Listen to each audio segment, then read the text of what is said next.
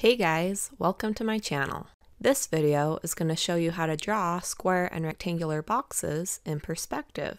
Drawing in perspective means you are drawing something to make it look 3D. Drawing 3D box illusions can be difficult to do correctly, especially if you want your boxes to be at a specific rotation or tilt.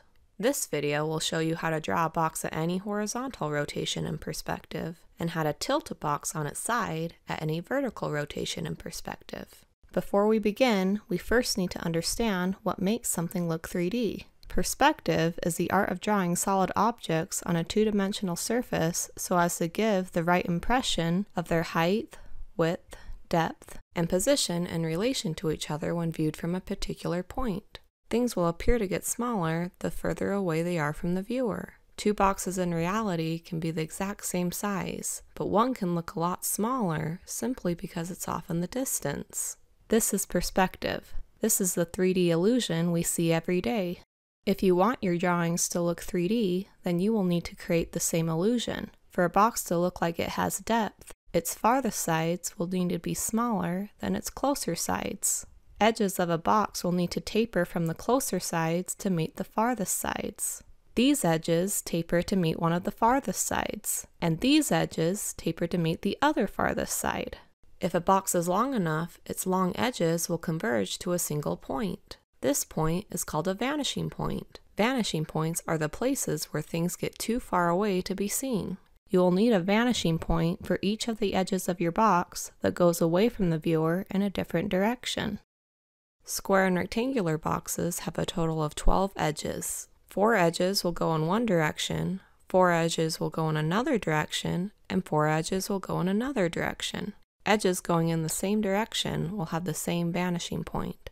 Edges going in different directions will have different vanishing points. For this box, one vanishing point for four of my edges is at the edge of the page, and one vanishing point for four of my edges is off the page. The other four edges of my box do not need a vanishing point because they are completely vertical. If an edge of a box does not angle away from the viewer, then that edge will not taper and will not have a vanishing point. In most cases, this happens when a set of edges is angled 0 degrees or 90 degrees on your paper, being completely vertical or horizontal. You draw a box in one point perspective when your box has both 90 degree and 0 degree edges. You draw a box in two point perspective when your box has only one set of either 0 or 90 degree edges. You draw a box in three point perspective when your box has no 0 or 90 degree edges. The only time this doesn't apply is if you tilt a box with both 0 and 90 degree edges directly to the left or right. This box will not have 0 or 90 degree edges on the x and y axis, but the turned edges are still perpendicular to each other on your paper.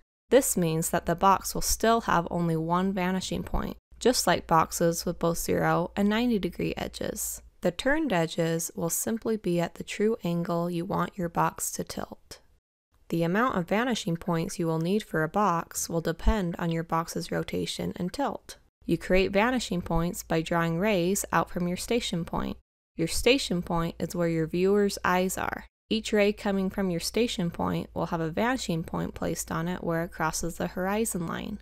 The angle a ray goes out from your station's point's horizontal axis will determine the angle a side of your box rotates away from your viewer horizontally. Here's an example of a side of a box rotated 0 degrees away from the viewer both horizontally and vertically. When a side is rotated 0 degrees away from the viewer horizontally and vertically, it will show its true shape and will be a perfect square or rectangle. To rotate a side horizontally, keep your two vertical edges vertical and taper your other two edges towards a vanishing point you choose. If you want your side to angle away 22.5 degrees away from your viewer horizontally, then draw a ray out 22.5 degrees from your station's point's horizontal axis and make a vanishing point where it crosses the horizon line. This is your 22.5 horizontal vanishing point. Lines coming from this vanishing point will be a guide for your horizontal edges. A side rotated away from the viewer 22.5 degrees horizontally will become slightly distorted and will no longer look like a perfect square or rectangle. A side rotated away from the viewer at 45 degrees horizontally will become even more distorted A side rotated away from the viewer 67.5 degrees will become even more distorted. A side rotated away from the viewer at 90 degrees will distort and squish together so much that the side might look like a straight line. This happens if your box's side is located directly above or below your vanishing point. In this example, the side of the box is a little bit off to the left of my vanishing point, so I can still see a little bit of its depth. If I continue to angle the side of the box past 90 degrees to 112.5 degrees, the side of the box will increase in depth and shape again, even more so at 135 degrees, and even less distorted at 157.5 degrees. When a box is 180 degrees, it is the same angle as 0 degrees, so at this rotation, it again looks like a perfect square or rectangle. Now let's put six sides together to make a box. Like I explained before, a box has a total of 12 edges. These edges make up six sides. Four edges will go in one direction, four edges will go in another direction, and four edges will go in another direction. This means I will need three vanishing points for my box, or vertical or horizontal lines to replace the vanishing points I don't have. If your box is truly square or rectangular, edges that go in different directions will come together at 90 degrees. This 90 degree angle is in perspective, however, so you can't check this by simply drawing a right angle on your paper. To make the edges of your box come together at 90 degrees in perspective, the rays you use to create your vanishing points on must come together at 90 degrees at the station point. Here's an example of when a box is rotated 0 and 90 degrees horizontally you can see that the 90 degree ray and 0 degree ray come together at 90 degrees. I have a vanishing point on the 90 degree ray and the 0 degree ray does not have a vanishing point because it is parallel to my picture's horizon line. This makes the edges for this ray completely horizontal on my page.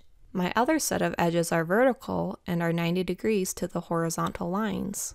Here's an example of when a box is rotated 22.5 and 112.5 degrees horizontally. You can see that the rays that make up these two vanishing points also come together at 90 degrees at the station point. My third set of edges will stay vertical. Here's an example of when a box is rotated 45 and 135 degrees horizontally. These two vanishing points rays will also come together at 90 degrees. My third set of edges will stay vertical.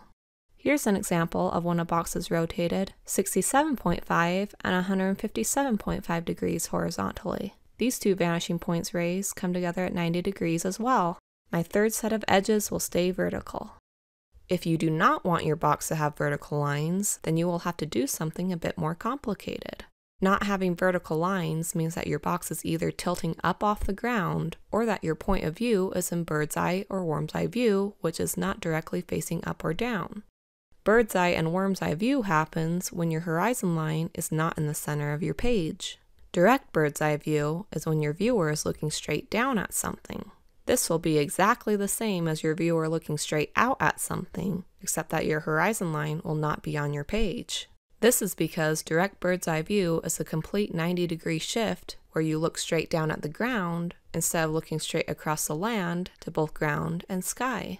Direct worm's eye view is when your viewer is looking straight up at something. This will also be exactly the same as your viewer looking straight out at something, except that the horizon line will also be off your page since this is a 90 degree shift where you are looking straight up at the sky.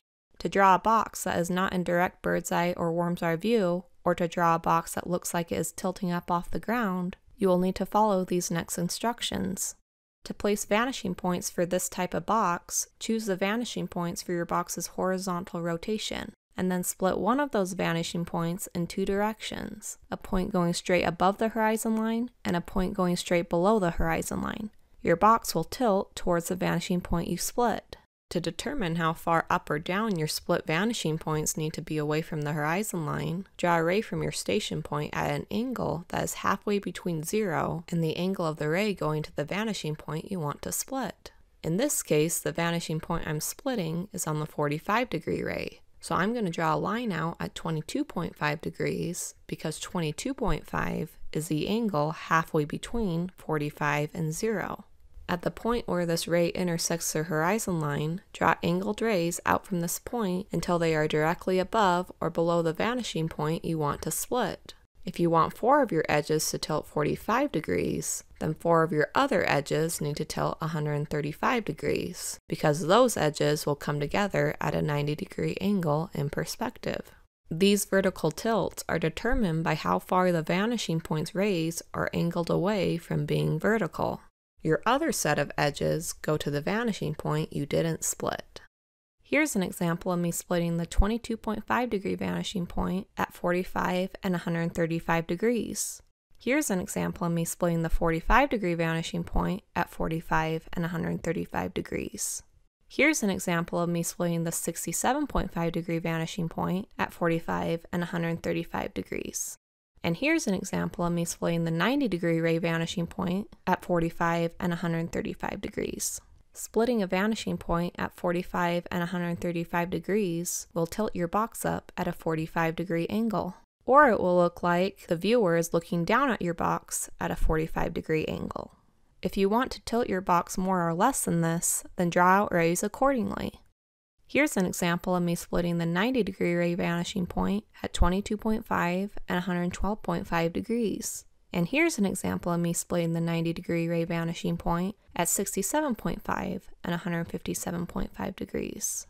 Please note that if you are drawing in worm's eye or bird's eye view and you want your box to look level with the ground, then you will need to place a picture horizon line on one of your vertical vanishing points. You will place your picture horizon line on your top vertical vanishing point if you want to have bird's eye view, and you will place a picture horizon line on your bottom vertical vanishing point if you want to have worm's eye view. Note that a picture horizon line does nothing to your vanishing points. It simply shows the point of view.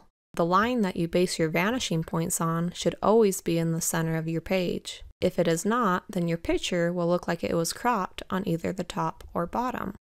People will usually center themselves with a picture when looking at it. So if a part of your picture's bottom or top is cropped off, then your viewer will center themselves incorrectly and will not be in the correct place to get perfect perspective.